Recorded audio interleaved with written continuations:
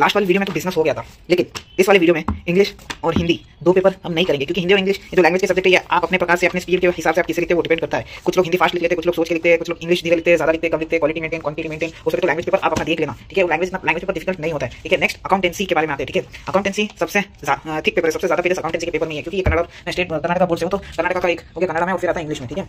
और हमेशा याद रखना कि अकाउंटेंसी का पेपर कभी भी आपको डिफ़िकल्ट नहीं आएगा, ठीक है? मैंने ऐसा किया तो ऐसा नहीं कि आप पढ़ के मत पढ़ के जाओ इन कभी भी डिफ़िकल्ट नहीं आता, क्योंकि कुछ लोग अपने स्टेट लैंग्वेज में लिखते रहते हैं, जैसे स्टेट में करना तो कुछ कन्नड़ा में लिखते हैं पूरा पेपर तो उनके लिए बहुत डिफ़िकल्ट हो जाता है ये मैथमेटिकल टाइप सब्जेक्ट तो इस इस सब्जेक्ट में direct to direct question simple simple question आ जाता है। तो स्टार्ट करते हैं, पहले के पंद्रह मिनट में, जो मैं हर वीडियो में आपको कहते हूँ, पहले के पंद्रह मिनट में आपको सब इधर देखो अकाउंटेंसी में भी वन वर्ड आता है तो वन वर्ड में आपको ऑप्शन नहीं है तो ये भी इसका आंसर भी आपको आना चाहिए। पहले पंद्रह मिनट में कॉपी करते हो, नहीं करते हो आप लास्ट में लिखो, लेकिन बोर्ड का रूल फ़र्स्ट पेजेस में आपको इधर तक लिखना है तो आप उसके हिसाब से जगह भी छोड़ सकते हो। तो ये आपको फ़र्स्ट फिफ्टी मिनट आना चाहिए। अगर बात करते हैं पार्ट बी तो लोग अक्सर क्या करते हैं पार्ट बी में हमको लिखना है फाइव क्वेश्चन टू मार्क्स तो ये नहीं लिखते क्योंकि हमको सिक्स मार्क्स और ट्वेल्व मार्क्स लिखना रहता है। तो चलिए मैं इसको इसे बताते जाता हूँ और आप मानो या नहीं मानो, मैं आपको आगे वीडियो में बताऊँगा कि एक सेकंड को अभी टू मार्क्स के बारे में बात करते हैं। ये हो गया एग्ज़ाम्पल वन टू थ्री ये जनरल वन को नहीं आता तो इसमें मैंने कितने क्वेश्चन लिखा मैं आपको बताता हूँ। One two three four five six seven ठीक है, इसमें से मेरे को फाइव क्वेश्चन तो पकाते हैं टू क्वेश्चन क्या by luck by imagination time था तो जब याद है, मैं लिखा है। अभी, जब मैं मेन चीज़ के बारे में आपसे बात करता हूँ, ये है सिक्स मार्क्स ठीक है? सिक्स मार्क्स में आपको कितने की छः क्वेश्चन कितने की क्वेश्चन है, उसमें से आपको चार ही चार लिखते हैं। तो ये प्रोडक्ट मेथड सबसे सिंपल है गाइस ये गेन रेशियो डेथ में आपको रिकमेंड नहीं करता क्योंकि डेथ में कहीं ना कहीं आपका मार्क्स कट हो जाएगा तो डेथ मत करिए।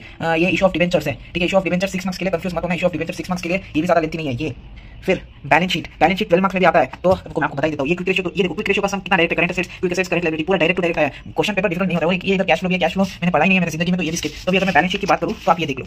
क्वेश्चन पढ़ बैलेंस शीट ये मिल आपको फुल फॉर्मेट इधर आपका आ गया फॉर्मेट और वो वैसे नहीं लिखते, ये ऐसे लिखते तो ये देखो, ये है बैलेंस शीट ट्वेल्व मार्क्स में ट्वेल्व मार्क्स का क्वेश्चन पूरा आंसर आ गया, इसमें से आपको परसेंटेज लिखना था, ठीक है? उसके लिए ट्वेल्व मार्क्स देते हैं ठीक है? अकाउंटेंसी पेपर मैथ्स पेपर जो भी लोग बोलते डिफ़िकल्ट नहीं होता है ट्वेल्थ में तो नहीं होता टेंथ संभाल लेना, मैंने तो लिखा नहीं हूँ। कोविड पास हुआ तो ठीक है। इधर देख सकते हो सेम ठीक है?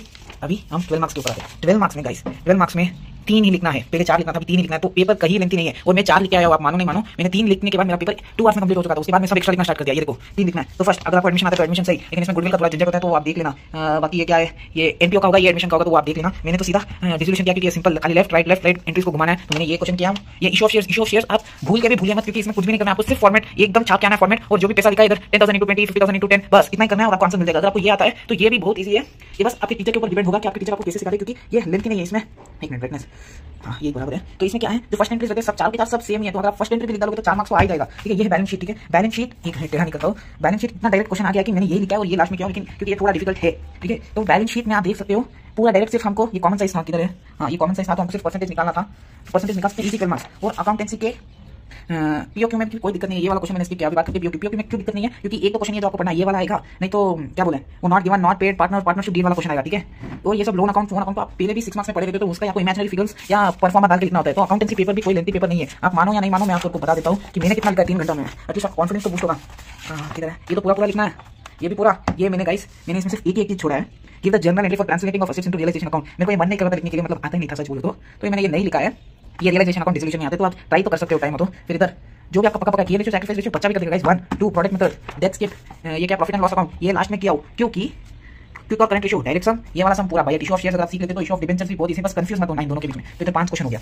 12 मार्क्स में चार क्वेश्चन क्या हो dissolution common size issue of shares issue of debentures ठीक है? तो चार क्वेश्चन एक्स्ट्रा करके भी मेरे पास मैंने डेकोरेशन किया सब किया हो तो आप देख ही सकते हो कि पेपर लेंथी नहीं होता है, बस आपको स्पीड मेंटेन करना है। तो मिलते हैं अगले वीडियो में।